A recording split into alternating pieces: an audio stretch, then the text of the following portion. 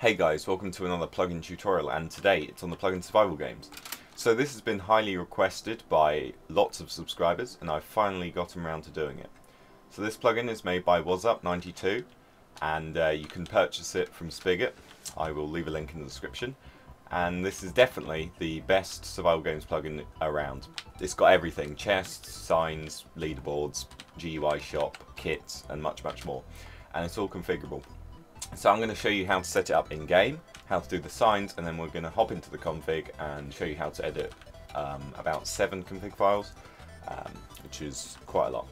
So first of all, we're going to want to grab our SG wand by using that command. And now we're going to want to fly up to the top left-hand corner of our, our arena and just left click, there we go, similar to World Edit. So if you use World Edit, you'll know how it works. And then we're going to fly over down here and just right click somewhere um, low. So let's go over here and just right click. There we go, simple as that. Now we need to do the command sg create followed by the name of the arena which is going to be YouTube, uh, the minimum amount of players and then the max. And the cool thing about this is it can actually be changed. Um, so I'll show you how to do that later. But uh, as you can see, it's found 36 chests in this area and two ender chests, which is cool, as there's a tier system within the chest. So ender chest here, and actually I'll move that so it's easier to get to. Let's uh, put a couple here. And you're probably thinking, will these work? Well, they won't, because um, the plugin hasn't detected them. So we can actually do a command. If you do sg admin, we can update chests in this particular arena. sg update chests in the arena YouTube. And hopefully it should find um, five ender chests instead of only two. So that's really, really nice. So we can get rid of that one now, we don't need that anymore. And while we're in the lobby, we can do SG set global lobby. Very, very simple. Now, we need to set some spawns. So the spawn points have got to be at the max number of players or more than the max number of players. So we set it as 4, so let's do it as 4. So add spawn, um, and then the arena name. So very, very easy. Uh, YouTube.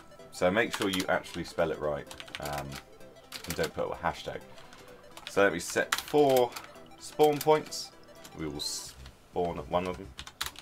There we go, and one more. Here we are there. Nice.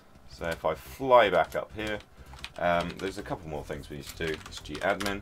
Um, if you use a holographic plugin, you don't have to use it, it's optional, but uh, holo stats will appear if you do SG set holo stats. And uh, that's where it will spawn here, which is uh, pretty cool. Now the final thing we do is deathmatch, so you can either set this um, in the spawn points or a custom arena, maybe underground somewhere. But I'm just going to do SG add deathmatch, and this is where the players will spawn um, when there's a certain amount of players left. So you can set this to maybe two players, three players, four, depending on how many people are in your arena. Now finally, we need to do the signs. So um, there's quite a few we need to do. So first of all, there is the auto join sign, pretty simple. SG auto join and no specific arena. Then we need to do the stats sign. So if we do uh, SG on the first line in square brackets, stats on the second line, like that. And the um, the join sign for a particular arena, very, very straightforward. Join and then uh, the arena name, which is actually YouTube, isn't it? So let me do that now. Nice. And it will say the max number of players available. Um, and now we have the top signs with head above, which is really cool. So you can just grab a player's head like that, and you can uh, do either wins or kills. So I'll show you how to do both. So SG on the top line, top, wins or kills on the third line, so let's do wins, and either first, second, third, fourth, fifth, depending on how many of these you want, so second, um, and it will update after a amount of seconds. And a kill one as well, so SG top kills and second. Um, should that should have worked. Uh, SG top. Oh dear, spelling error. Top kills and then second. Um, I think I've already got one over here. Yeah. So um, that's how you do that. And LT Jim is second, and my other account is first. So yeah, that's how you do that. Now, um, let me just show you some more of the commands. Um, there is SG coins. Now you can add uh, coins to a particular player's um, account if they maybe donated or something, or you can take them away, and very, very simple. So SG, um, without anything else, shows you um, the player commands. So let's go into the game now. And here we go, we've got the kit menu. So um, if there's VIP kits, we could purchase more. Or if we donated, we would get access to these. But here are the kits by default. So let's just grab um, Archer. So this is what we will start with. Now if we go uh, into the shop by right clicking the emerald, there are all of these bits and bobs that we can buy. And obviously you get coins by killing people and winning. So we could grab TNT maybe, and XP, bread, just whatever you want really. Um, and it, as I said, it is made by WasUp92, so well done to him for making this awesome plugin. Um, so yeah, I'm going to get my other account to join now by uh, clicking the sign, and it will start in 30 seconds. So here we are, we have received the kit archer and the, um, the items we purchased in the shop. And uh, really cool thing is there is coloured armour, which um, is such a nice feature. Now, if I try to shoot my other account, I can't because the grace period, obviously. Um, and we also get a tracking um, compass, so it tells us where people are. Very, very nice. And as you can see here, um, there is different things spawning. So you can customize this in the config. So we'll go through that. Time set zero. And if we go into the ender chest, which is the tier 2 chest, this will give us slightly better stuff. Well, it should do anyway if you configure it like that. And here is a care package. So um, this is a really nice feature. If you pop it down somewhere, it will start countdown from 10 seconds. Boom. Um, and then it will appear and give you some items. So this would be really useful if you're running out of food maybe, or something. Um, so as you can see, there is Ender um, XP bottles, so you could put um, an enchanting table as long as you've got Lapis Lazuli because obviously with the new update you need it. And this plugin does work with 1.8, which is uh, very, very good. Um, so, I think that is most of the things in game. You can um, obviously place TNT, but it won't do damage. And I think you might be able to turn block damage on, so you can uh, destroy blocks, but then it rebuilds after the arena has finished. And once you do win, fireworks, which is nice, and you get this map that says congratulations for winning. And it says you've earned 100 points for winning, blah blah blah, blah blah blah. Um, and I think there is permissions, yes there is, you can give them a modifier that gives them, say, 10 times XP, or 4 times XP, or 2. Um, yeah, there's lots of different ones. And uh, depending on the do donator rank. So if I hit stats, I've got two wins, that's my KDR, there are my coins, etc. So yeah, very very cool. Um, those signs will update soon hopefully. So now we're going to go into the config files and show you how to mess about with them correctly. So here we are in the plugins folder and if we go into survival games we see these nine um, different config files. So let's start at the top and this is the arena files. So this is where it saves all the data about the arenas. So um, the cool thing about this is you can edit uh, these values up here. So you can change min-max players, disable it, um, various different times of deathmatch and other bits and bobs. Uh, you can also do this in game using a cool GUI. Uh, I believe the command's forward slash sg edit followed by the arena name, and you can use um, green and red uh, panes to change the values going up by one or down by one each time. But if you want to change the game time, um, which is 1200 by default, um, that would take a long time. So it's best to do it in the config. You can change it to 2000 or 400 or whatever you want. So um, that's pretty straightforward. Let's hop into the chest file next. Now, um, this is pretty cool. You can set what could appear in a care package and all the items that could appear in the tier 1 chest as well as the tier 2 chest. So that is pretty cool. Um, very simple to do, um, so I'll, I'll, show an example. So if you go down the line, put a hyphen, uh, a space, then an apostrophe. Now you, you choose the item ID, so 267, I think that's a sword. Um, colon, we only want um, one of them. And then if you do a space, followed by another colon, and, and then another space, you can um, add lots of bit, bits and bobs like enchant, name, lore. So let's add all of these, uh, which will be pretty cool. So enchant, um, there is loads of enchantments. I'll try and find a link to a list of all of them.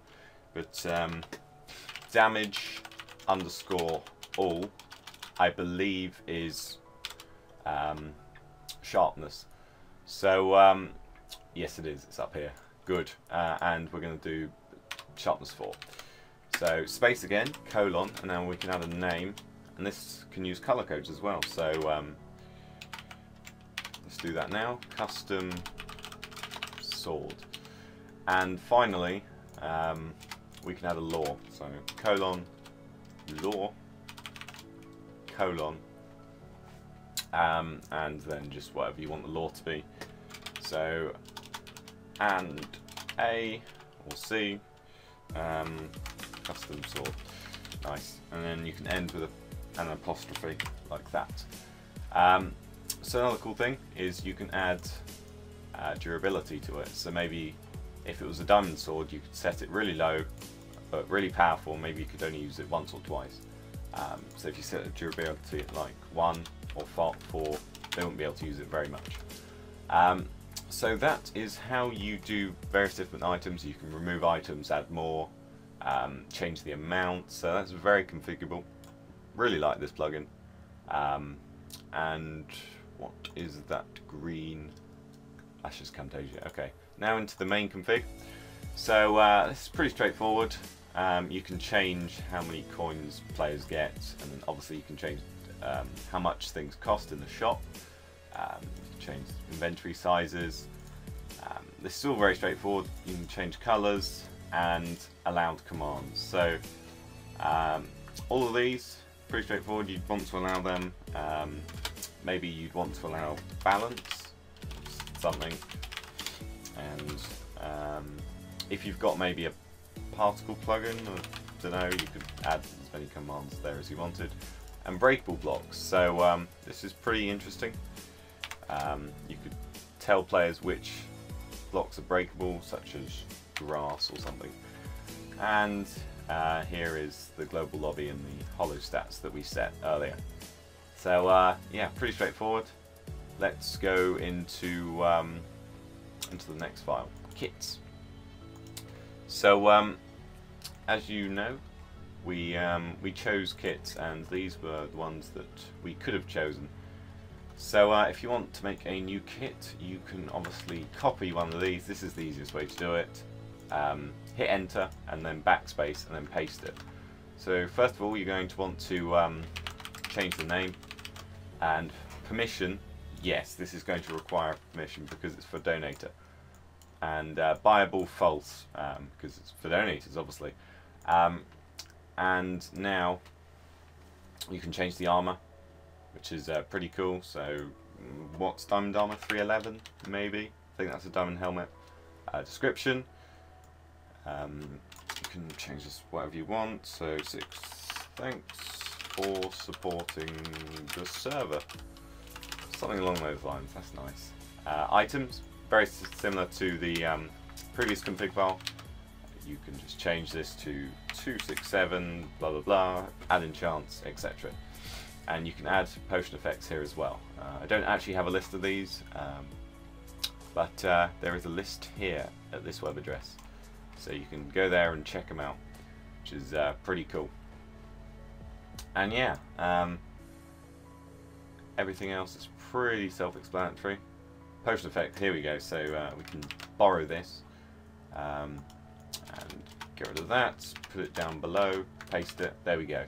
So you can add multiple um, if you do it correctly. And this is going to be, uh, what's another potion? It's poison, for example. You wouldn't want to add that to a donator kit, but you know. And 9 and 9, that's the time.